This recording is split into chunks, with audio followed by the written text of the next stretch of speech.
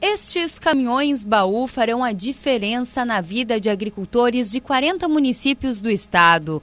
Os contratos com as prefeituras, através do convênio firmado entre o governo do Rio Grande do Sul e o Ministério do Desenvolvimento Social, por meio da Secretaria Nacional de Segurança Alimentar e Nutricional, foram assinados nesta sexta-feira no Parque de Exposições Assis Brasil, em Esteio. Então eu quero dizer para todos vocês que o Estado precisa sim, e o que está fazendo, dar suporte a todo a qualificação do trabalho dos agricultores familiares, para que eles tenham também alternativas de uma melhor gestão na propriedade que eles ocupam e produzem.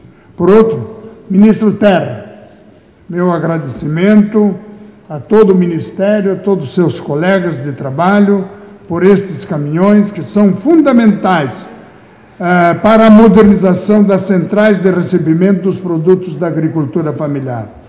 E assim também nós dizemos que a semeadura é aquela que dá sustento às famílias. Sem semear, você não colhe, mas exige perseverança e exige muita determinação para continuar teimando e fazendo as coisas que precisam ser feitas.